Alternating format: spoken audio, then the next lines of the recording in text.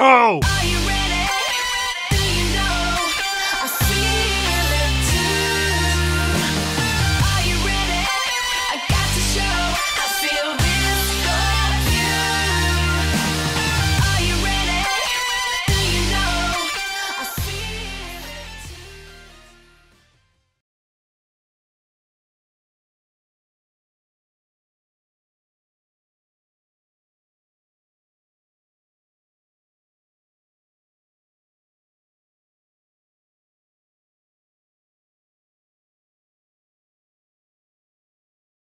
Hello, I am Maggie Baine, and I will be telling the incredibly true story of Paul Charles Morphy, worldwide chess champion.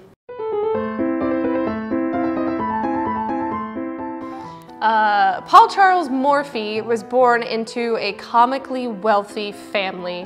His father and his uncle didn't have much to do because they had so much money, so they chose to play chess all day. Eventually, little eight-year-old Paul Charles Morphy, he learned how to play chess just by watching his father and uncle, which is pretty impressive. By the time he was 12, a traveling Hungarian uh, named Johann Vahansberg, which was probably not his name. he came to visit young Paul Charles Morphy. He persevered and actually won over the crowd and won the game. He, he looked at Johann and said something probably cool, like, uh, Hey, Johann, checkmate, or like, Hey, Johann, I'm hungry for victory, and then won. When he came on Spring Hill College's campus, like, it was crazy. One day, a man came up to him, serious man. Uh, his name was John, probably, and uh, he and he said, "Hey, man." I got something crazy to show you. And he took him to Stewart Field, in fact, which at the time was being used for a front for an underground board game gambling ring. Other board games like uh, Chutes and Ladders, uh, Monopoly, and he opens another room, and there in the back is the chess room. So John turns to Paul, and it's a very intense situation, and he said, Hey man, what do you think? And pulled John close to him and he said, Hey man, checkmate. So this led to an intense administration raid. And they came in and they were like, hey man, this, is a raid. And in a much more intimidating way than that. People were pushing each other out of the way. It was crazy. And in the scuffle, John, Paul's dear friend, was like, you know, shivved or something. So he fell down and he's dying. So Paul looks up at him. I mean, looks down at him because John's the one that's dying, and he says, Yeah, you're dying, so are you okay? And John's like, No, I'm pretty not okay because I'm dying. So he says, Listen, Paul, just promise me one thing, man. Don't give up the game, Paul. And his head like rolls over and he dies and Paul's holding his friend in his arms and he's like distraught and it's very sad, but he got taken away by PubSafe after that. The entire underground gambling ring was was destroyed at that point, dismantled, and Paul was a little bit lost for a while. So he decided to take up law. But as it turns out, he was an incredibly bad lawyer. After a long and horrible law career in which he probably should have just been playing chess still, uh, he eventually died in a bathtub. So, on the top of his game at the age of 12, came to Spring Hill College to participate in an underground board game gambling ring, and died in a bathtub. True story.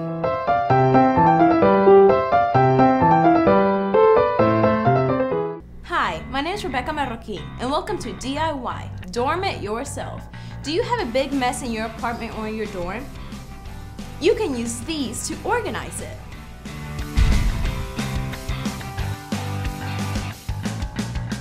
The first tip we have for you is showing you how to hang up your scarves, belts, and ties. You're going to want to get a regular hanger and attach shower curtain rings or hooks to them. You can then hang your scarves, belts, and ties from them. You can easily place a hanger in your closet, saving you a ton of space. An easy way to organize your clothes in a drawer is to place them upright. This gives you more space and allows you to see what you're pulling out each day. Are your snacks scattered all over your dorm or apartment?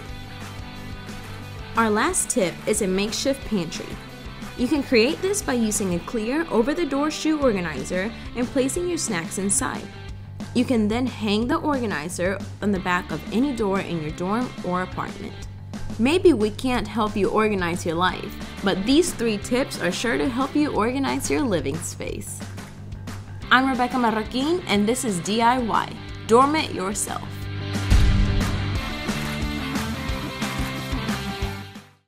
Every year, dozens of students fall victim to forgotten ID. It might happen to you. Should have brought a friend. A message from students everywhere. Así que tú. Aquí te traigo tu borombón, mamá.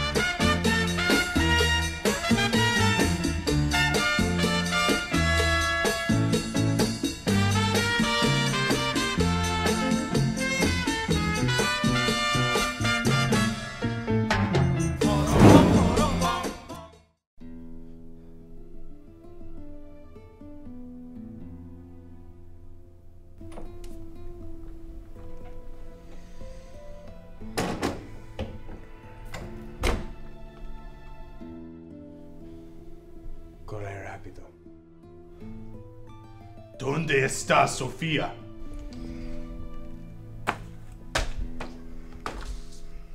¿Quién? ¿Dónde está Sofía y la señora en el bosque? Están en la cama.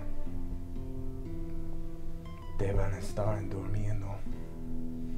Estaban cansadas.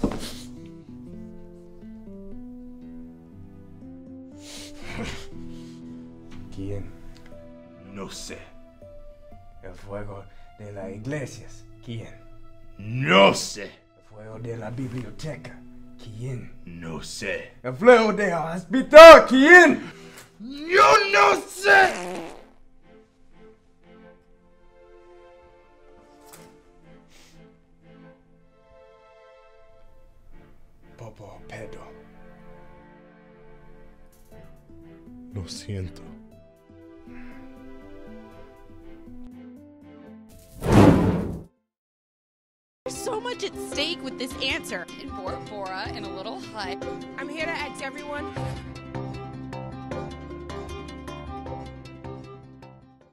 Hi, I'm Kerri Ebanks, and this is On the Spot.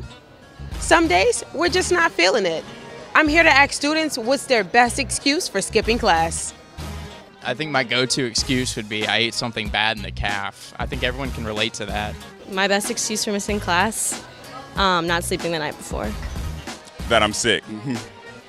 The best excuse I've had for missing a class is that my dorm room flooded. I got contacted by an acting agency, so I had to leave campus. Sorry. Um, if it's Mardi Gras, I'm going on an immersion trip with campus ministry. The other day I skipped theology and because I just didn't want to go to class and Doc Wilson actually stopped me outside of class and was like, "Hey, where you been?" and I told him that I overslept when I really just didn't want to go to class. All right, I skipped class last Friday and told my professor that my my paddle broke on my canoe, on my Spring Hillian canoe, and I couldn't paddle to class. I missed my very first class this morning, actually, so I'd never missed class before until now. And I just woke up this morning really late and just didn't feel like getting ready or going to class, so I missed my very first class today. Hi there, I'm William Konrad. When I miss class, I usually email my professor and say, I'm sorry, I won't be able to make it to class today. But when I do make it, I'm there. Uh, my best excuse for missing class is when mother calls and says I have to come and fold the laundry. Uh, I try not to touch her delicates. Uh, my best excuse for missing class is when my dad calls me and wants to have a WWE reenactment of SmackDown from 2014. Uh, my best excuse for missing class is because I'm beating my father in a push up contest and he still has never let it go, so he tries to challenge me all the time. My best excuse for missing class is, well, I just don't want to go. My best excuse for missing class is, you know, sometimes it's sunny at the beach and other days it's rainy. And I just open the door and decide I don't want to go. My best excuse for missing class is when uh, my my best excuse for missing class when my roommate's acting like a nerd, so I have to go out and rent lockers so I can stuff him in so he stops acting like such a nerd. Reporting for Badger Block, I'm Kerri Ebanks. Every year, dozens of students fall victim to lost IDs. It might happen to you. There aren't any pillows on the street. A message from students everywhere.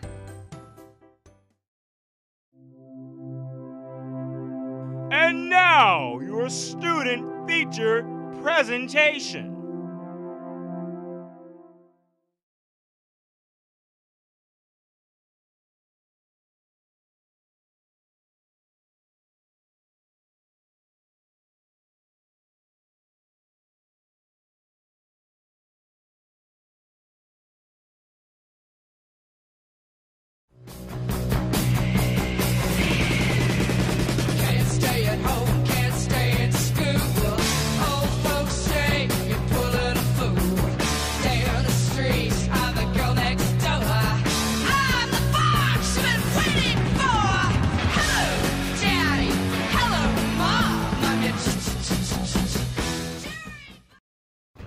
Beautiful day. I just I just don't get why you won't ever let me drive. Uh, really? Yeah. You don't get you you get to drive all the time and you get to look cool in front of all the girls and here I am. Here I am. Because I'm responsible. I'm a I'm responsible, responsible. adult. No, I you're am- not. yes, I Look, am. Look, this is how it goes. I'm the brains. You're the bronze. No, That's just how no, it no, no, no, no, no. it. No, no, no. I mean- I this is absolutely ridiculous why you won't let me drive.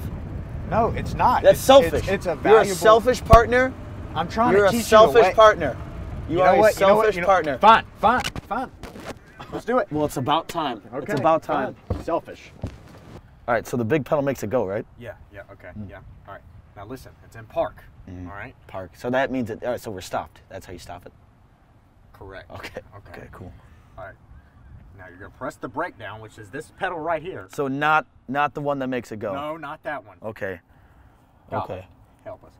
Okay, so you're gonna press this down, and then Mhm. you're gonna be. Good Yeah, I'm to just go. gonna do it. All right. Now be All right. careful now. Okay. The, the brakes are very sensitive. The brakes are? Yes. Okay. Okay. That pedal is very okay. sensitive. Okay, I'm dri- Okay, I'm driving. I'm driving, and I think I'm doing all right. Squirrel!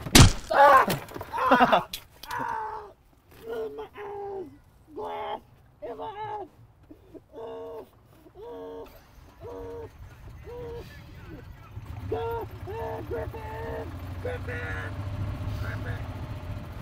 Yeah, Officer Gomez uh, losing his eyesight was a real detriment to the force. Um, yeah, I guess you know bad things happen to good people, but uh, the upside, you know, we now have a puppy named uh, Officer Babs. Yep. Uh, he's gonna assist Officer Gomez here as a seeing eye dog.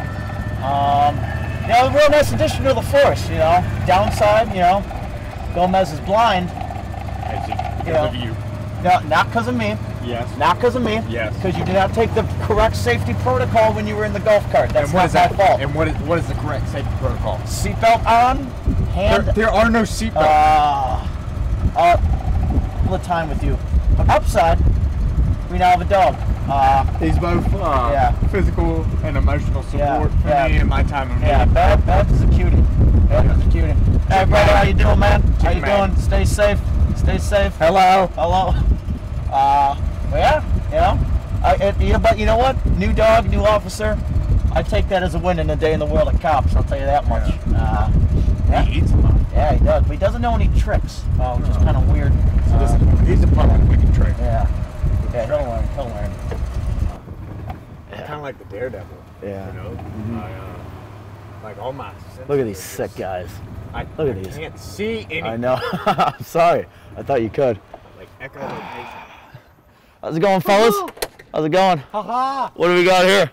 Oh yeah. What do we got here? Got the guard dog. Just grilling, duty. huh? Grilling? Where we Oh, go? sounds like some pretty good Where meats, go? huh? Yeah, yeah. Huh, what Where kind of we meat you got here? Just some Italian. We got a call about some arson. Arson? We got a call about some arson. Uh, I don't know, Yeah, dude. I smell trouble. Oh, okay. Yeah, it doesn't smell good. Didn't, didn't seem like you cooked it very well. Oh, I'm sorry. Yeah. Yeah, All right, we're gonna have to take you guys in for some questions. Oh, no. Yeah. good, You gonna take it? Get him, get him, Ernie. Yeah. Yeah. Hey, slow down! Slow down! you sick You think running from the cops is cool, man? Huh, hands behind your back. Hands behind your frick. Hey, shut up, man. Hey, don't resist arrest. Give me your hands. Give me your frickin' hands, man. Bap. Bap. Bap. Archer Bap. Buddy, come on, buddy. Bap. Where you at? Come on. Oh, God. Is this a wall?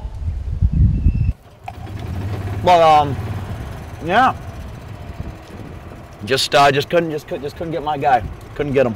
He was shifty. He was, he was pretty agile that one. You didn't catch your guy? Uh-uh. Yeah, you did. Nope. I heard you tackle him. Nope. I heard his muffled scream. Nope. Are you Uh, serious? Yeah. Um. He just kind of turned the corner on me. What's that smell? Nothing. Don't lie to me. Nothing. You know, uh. Is he lying to me? Nope. Nope. You know what they say, uh, you know, you can't catch them all sometimes. And you know what? That's okay. That's okay. X gon' give it to you. Wait for you to get it on your own. Got this Christmas tree. It's February, Jim. I, I, I don't know what to do. Ooh, oh, that's I'm too, sorry. Yeah, too far. Come on, come. That's why you can't not allowed back in the driving range anymore. Yeah. Hmm. You know what else happens, Jim? When you leave a Christmas tree, No, don't do it. the leaves. No. The leaves. No. Start to fall off, Jim. Huh? The leaves start to fall off and start getting trimmed. When you leave a Christmas tree out past Christmas, how long has it been plugged in for? For a long time. Are, are you serious? You're wasting energy, man. You're wasting energy. There are What happened to people going green? without electric. You think Thomas Edison died for this? No. You think Thomas Jefferson died for this? Teresa You- leaves in 10 minutes. Do you think? do you do you think that George Washington died for this so you could keep your Christmas tree up all day? Here's your saber. Finish Finish it. it. Finish. Finish the. Knock, knock, open up the door.